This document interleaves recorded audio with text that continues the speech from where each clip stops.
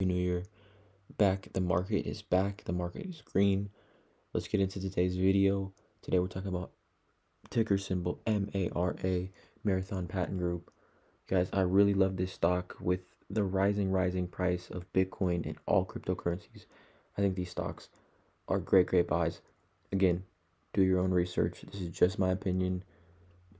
Again, guys, on this channel, I'm not telling anyone to invest their money specifically. This is just what I think, my personal opinion, and where I'm investing my money.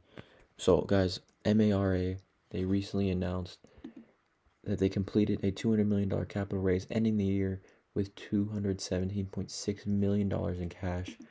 And for those of you who don't know what MARA is, Bitcoin mining firm, and again, they announced that they've ended the year with 2.7 $217 million in cash and the company plans to use these funds to pay for major purchases of Bitcoin miners from manufacturer Bitmain, as well as further expand the business.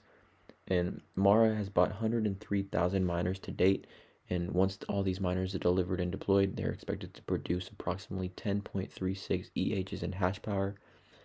And if all the miners were deployed immediately at a Bitcoin price of you know around $28,000, Mara would produce approximately 618 million in revenue annually and approximately 523 million dollars in gross profit annually.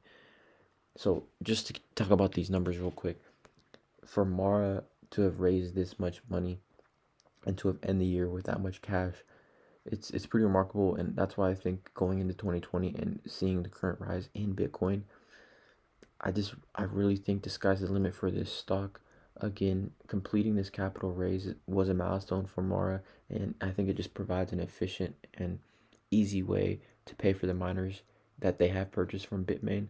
And again, guys, investing in these these companies and um, talking about companies that are involved with cryptocurrency, I think now is just a it's just the beginning.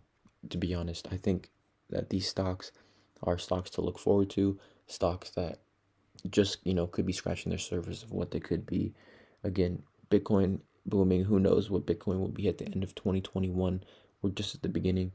So you guys, today, first day of 2021, Mara, great stock. I think you know everyone that's been bear with it has you know seen the rewards and again, it's up it's up almost 10% today, and like I said, the company plans to use these funds to purchase more miners and further expand the business. It's going to be interesting to see in the coming months how Mara expands their business. But again, great, great stock. Mara to the moon. Again, just my opinion. Please do your own research on these stocks. I'm not a financial advisor.